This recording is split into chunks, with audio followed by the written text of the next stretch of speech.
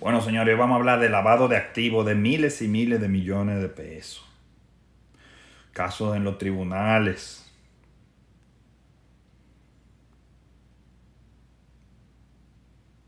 La justicia independiente, vamos a hablar de eso.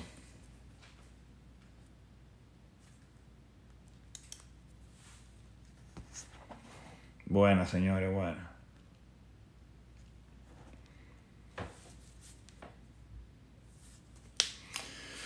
Bueno, señores, eh, desde ayer publiqué el caso de Miki López, que, que había pasado con ese expediente, porque realmente ese expediente como que son 7 mil millones de pesos.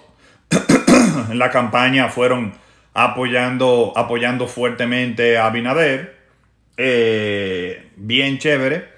Y entonces le meten su expediente de 7 mil millones de pesos y en seis meses tienen sueldo, qué sé yo cuánto. Le han ido bajando la pena, le han barrado la calificación, le están haciendo de todo ese expediente en menos de seis meses. Cuando un caso por una gente que lo agarran con 50 mil dólares en efectivo, 100 mil dólares en efectivo, le dan más vuelta que un trompo, no puede ver su cuarto, le quitan los carros, lo chantajean, lo extorsionan, no le quitan el expediente, dura cinco años, lo pueden exonerar como 30 veces y como sea, increíblemente, increíblemente, eh, el caso de este hombre va acelerado y todo el mundo sabe del vínculo del gobierno con él. Entonces, independientemente de todo, no podemos bajo ningún concepto ser parte de este tipo de, de, de manejo especial de la justicia independiente, que no soy yo que lo vendo, sino el gobierno que lo vende, y que se trate con tanta favorabilidad. Puede ser que resulte inocente. Hay gente culpable que son inocentes en los tribunales porque el, sedazo de la justicia puede fallar. Y hay gente inocente también que cae en este tipo de expediente y los encuentran culpables o quedan como culpables. ¿Entiendes? Eso es otra 500. Eso yo no lo sé. Yo no soy la justicia dominicana y no tengo, gracias Eprats por el apoyo. Eh, Limón, gracias por el apoyo también, Limón N20.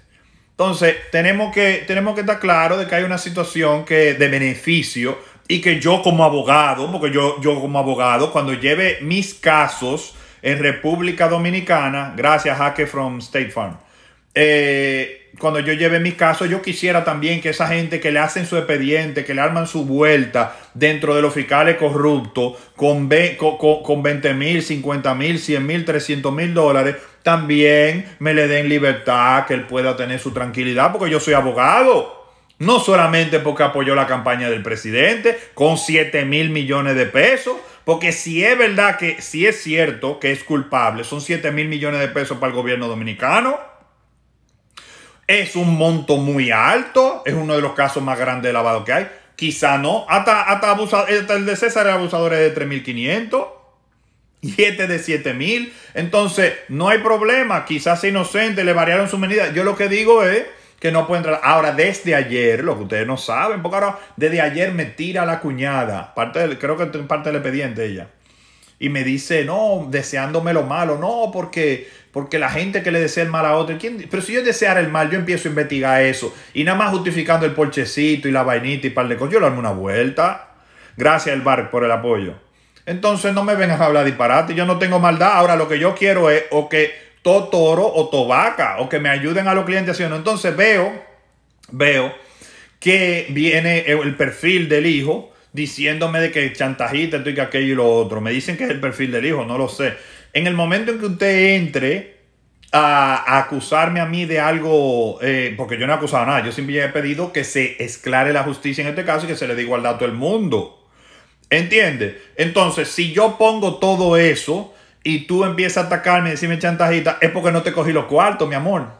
Porque si yo quisiera darte, te doy de cabeza. Entonces no te estoy dando de cabeza, lo que pasa es que tú creías que amedrentándome, hablándome la doñita, y como yo no cojo cuarto, es el sofoque de todo el mundo. Me mandan gente, me dicen y hablan conmigo. Pero si yo cogiera cuarto, yo tuviera rico.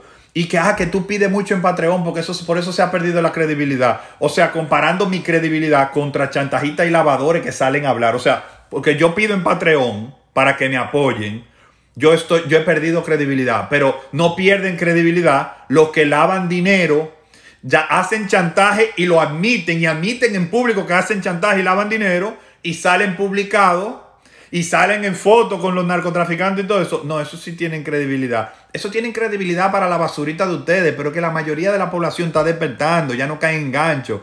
Gracias Federico Colina por el apoyo. Ya la gente no cae en esa. Ese es el ejemplo de llamar a lo malo bueno y a lo bueno malo. Ese problema es suyo. Yo no trabajo para la mayoría, yo trabajo para los que tienen conciencia. Y los que tienen conciencia saben que si tú pides en Patreon y eres decente y no te han agarrado nada por más vuelta que te han querido hacer, y los otros, sabiendo que me han ofrecido de todo y no lo he cogido, entonces los otros que sí están mezclados al narcotráfico, a capo, a lavadera, a chantaje, y lo hacen público, los chantajes y todo eso, no tienen reputación. Tú puedes decir lo que tú quieras, pero está ahí, mi amor. Y nadie tiene más información que yo porque lo que están haciendo todo el mundo es repitiendo lo que yo dije en el pasado con dos o tres cositas nuevas de la noticia. Lo que pasa es que yo no quiero dar noticia porque yo la doy cuando yo crea. ¿Entiendes? Y porque yo estoy tratando de que se sometan la mayor cantidad de gente posible. Y se me ha pedido que yo lleve un poquito más suave el baile y lo estoy llevando hasta que en una de estas me desespere y diga, no, vamos a darle. Gracias, Araldo Cabrera, por el apoyo. Gracias, Lisandro Fernández, por el apoyo también. Y gracias, Caribbean Swag, por el apoyo también. Entonces, no me vengan a mí con ese tipo de cotora ni a darme con la de mito, porque es un expediente de 7 mil millones de pesos. Es el doble del expediente de César el abusador. Entonces tenemos que estar claro de que hay que investigar ese expediente. Claro que sí. Y yo debo reclamar en justicia y esas variaciones de las calificaciones, variaciones de las medidas, ese trato tan bueno en seis meses, coño es verdad que ellos pueden demostrar el arraigo, quizá, no lo sé, porque no, lo tengo. Pero, bueno, no me he sentado a investigarlo realmente, porque lo tengo, tengo unas cositas ahí. Pero yo podría agarrar todas esas cosas y decir, bueno, quizás se le puede una variación de la, de la medida de coerción. Puede ser, pero ¿por qué no lo hacen con otra gente, nada más con él? ¿Entiendes? Esa es mi queja. Esa es mi queja. Es igual que como la queja con, el, con, las adjudicaciones que tenemos. Gracias Dulcita Álvarez por el apoyo. Gracias Carles Kane por el apoyo también. Entonces, ¿qué, ¿qué, es lo que yo digo? Licitaciones. Puse el ejemplo de una empresa. En Open Corporate salía que, las adjudicaciones, que ética aquello, a tal empresa, la empresa sale como que cerrada y después abierta otra vez en agosto y abierta en julio. Eh, me contactó el dueño, me dijo que no, que ellos lo han tenido todo el tiempo, que es un error de la página, que me iban a mandar una cosa. Quizá es un error, está bien. Yo no tengo problema con esa empresa, pero mi pregunta es, ¿por qué declarar de emergencia si los próximos seis meses no se vaya al colegio una licitación de 16 millones de pesos para una escuela? ¿Por qué no hay que, para hacer licitación hay que declarar de emergencia para arreglar un colegio? Compadre, cuando se hacen de emergencia se violan muchísimos procesos para adjudicársela a quien usted quiere. Entonces, que hay casos que no. Puede ser, puede ser que ese caso el tipo haya hecho su vaina bien es un error de una página internacional que, es el que lleva todo eso, que una de la empresa, de la empresa que da más seguimiento a las empresas en el mundo entero, pero quizá un error. Yo no estoy en ese problema. Yo estoy en el problema de que por qué me están declarando de emergencia licitaciones a cada rato, porque eso se da para favorecer personas al gobierno. Recordemos que Luis Abinader ha perdido más de 600 mil millones de pesos en préstamos en los últimos seis meses. Y si bien es cierto, y si bien es cierto, Danilo dejó quebrado el país, cóbrale los cuartos entonces, viejo, pero no nos metan 10 mil millones de dólares pretado en seis meses que tú llegaste al poder, cuando tú decías que los préstamos eran un abuso y que 100 millones de pesos era un abuso y tú metes 10 mil millones de dólares, la tasa ahí aguantaba 60, nunca bajó, los impuestos rompiendo madre, ¿entiendes? La calidad de vida en el suelo, no hay negocio, los negocios parados, dijiste que era un abuso lo de, lo, de tener la, la, gente trancada y que estaba muy mal y todos tus funcionarios dijeron lo mismo y ahora todos quieren trancarlo. ¿Qué fue? ¿Aprendieron de coronavirus o, de medidas sanitarias? Pues tener entonces una recua de funcionarios que son un ignorantes. Porque no sabían de eso antes de ganar el poder. Y de que ganaron el poder cambiaron la teoría al gobierno anterior. Entonces ustedes están haciendo lo que criticaron del otro y lo que no hicieron criticar del otro. No, mi amor. Es que esas son las cosas. Entonces, no podemos estar en esa vaina. No podemos estar en esa vaina. No voy a estar tolerando este tipo de cosas y lo voy a publicar y voy a seguir hablando. Y no me van a callar. Si quieren salirse de Praterón, los que están en el PRM, que se salgan. Porque más gente hay. Y más gente que apoya la causa. Y esos lavadores que le cogen los cheques a ustedes y que están esperando que ustedes le den su cheque, ese es su problema. Yo le pedí al gobierno que me echara la mano con una medicina ahora. Y ahí estoy esperando todavía. Una medicina que yo, medicinas que yo tengo aprobado en un departamento, ahora están, están poniendo la lenta. ¿Y qué yo he dicho? Yo no he dicho nada, lo estoy diciendo hoy. Cuando usted entra en programas de alto costo, deben dársela la medicina. Porque usted demostró que tiene una enfermedad grave. Como yo tengo una enfermedad que es delicada, gracias a Dios está controlada. ¿Entiendes? Y yo pedí ayuda por un medicamento, que me variaran un medicamento por otro. Ay, muchachos. Yo no he visto respuesta. Con el PLD me lo hubieran dado una vez. Y yo vivía de. Yo fui el que desbarató el PLD. A mí no me venga nadie a hablar de otra cosa. Que ir a hacer machita con cuarto de, de gobierno extranjero y con cuarto de proaborto y vaina. Eso es muy fácil. Yo le metí al pelo y al pecho. Y le he seguido metiendo al pelo y al pecho. Así que no me hablen tanto disparate. Gracias, Brian Escoto, por el apoyo. Entonces, tenemos que estar. Tenemos que estar en una sintonía de que no se puede tampoco favorecer a todo el mundo y querer venir a hacer lo mismo y hacernos pantallita y pañito tibio. Y si ustedes, los otros que tienen voces, que también han hecho algo y que le han cogido cuarto a muchísimas instituciones para hacer su lucha con intereses por detrás que son hasta prohaitianos, profusión, por de todo, no hay problema. Ustedes han hecho eso, ese es su problema.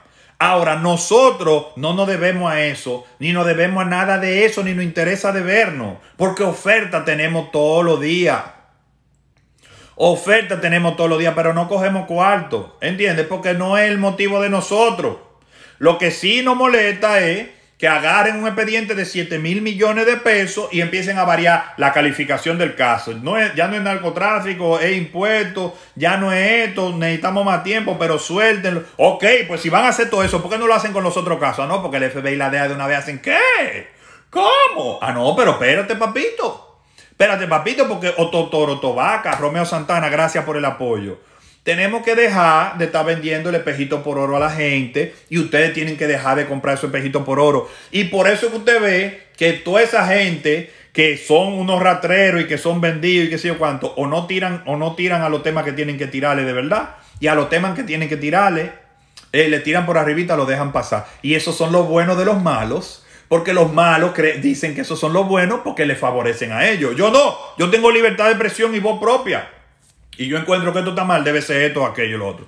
Ahora, ahora, es increíble que a los que chantajean en video dicen que son buenos porque les pagan y le tumban los videos, pero me dicen chantajita a mí que no tumbo los videos y que sigo sacando todas las cosas. Ahí no. Entonces, ¿cuál es el chantajita? Es el que quita la cosa, mi amor. Para yo quitar una cosa, a mí hay que mandarme prueba, documento y todo para yo quitarlo, para que nadie diga nada. No solamente la mujer del César debe ser seria, sino debe parecerlo. Y ese es nuestro trabajo. ¿Entiende? Ese es nuestro trabajo. Gracias Lilibel por el apoyo. Gracias Alan Frey por el apoyo. Entonces, no es verdad. No es verdad. Que ni nos vamos a amedrentar y ni que sobre tirar y hablar mal de nosotros y qué sé yo qué. Nosotros no tenemos miedo, querido. Nosotros, nosotros ya tenemos mucho tiempo tirando tiros y tirando pleito y tirando para adelante por el país no nos van a meter presión de que con chantajes emocionales y que nosotros somos los buenos y los malos nos apoyan. Bueno, exactamente, como los malos los apoyan, sabemos que son los malos, porque los malos no apoyan los buenos.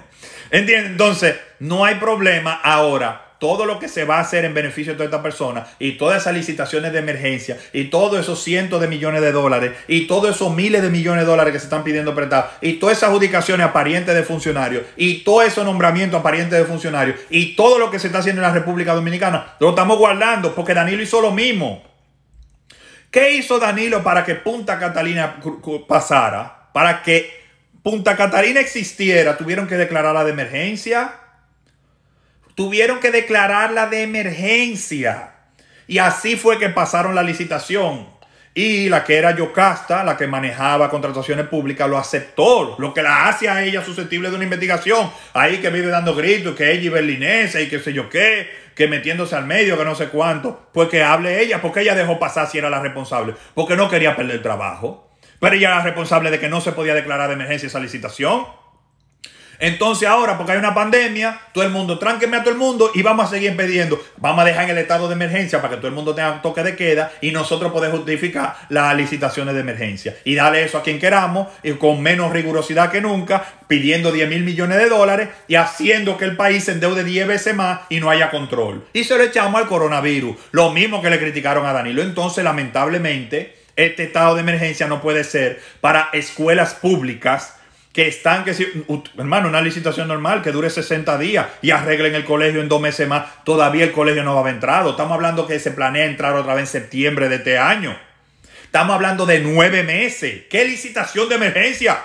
¿Qué licitación de emergencia? Eso es lo que estamos peleando y no podemos permitir que sigan haciendo lo mismo. Oye, Abinader no ha nombrado a nadie de su familia. No, que yo sepa, no ha nombrado a nadie de su familia. Pero el hecho es de que tu nombre, pariente de amigo tuyo, y amigo tuyo también te he nombrado, tú estás haciendo exactamente lo mismo que si estuvieras nombrando a tu pariente, porque no hay diferencia. Tú eres el que nombra. Y Danilo lo dejó así, que todos los contratos lleguen a presidencia. Y esa es mi queja.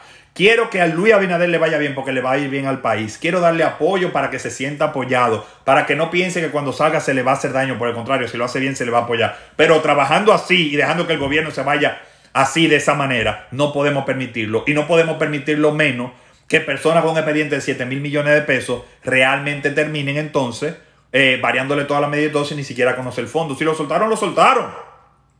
Sea justo o no. Pero no podemos tampoco hacerlo a lo loco y empezar a variar medidas. Entonces, como no hacemos con nadie, así no se puede. Les agradezco muchísimas gracias por el apoyo. Les deseo un feliz inicio de año. Y vamos para adelante, que esto es solo el principio para cambiar la República Dominicana.